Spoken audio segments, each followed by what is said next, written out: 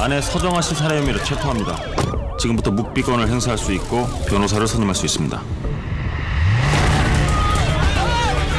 한철민이 사건 맡을 거야 안 맡을 거야 이런 사건을 누가 맡아?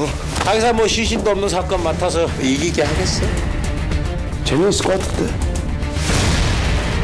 한철민 재판의 모든 전력을 집중합니다. 이 재판 무슨 일이 있어도 이깁니다. 일단 캐릭터가 죽이잖아. 아내를 살해한 남편이 범행 현장에 다시 돌아왔으니까.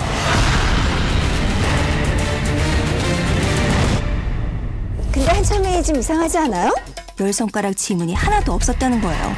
중간에 집에 들렀던 사실을 입증할 거야. CCTV가 있어요? 한 달 전 화면까지 다 싹 들어갔어. 누군가 찍혔다는 거지. 대한민국 검찰들 바빠질만 하네 이게 아직도 누가 이기고 지느냐 게임인 것 같아. 이건 옳고 그름의 싸움인 것 같은데. 피고인 한철민을 제외하고 다른 범인의 가능성을 고려할 수 있겠습니까? 없습니다.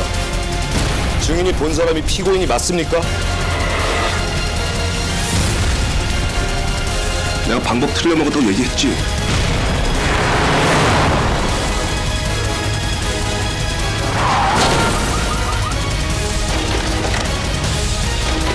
누가 죽였습니까?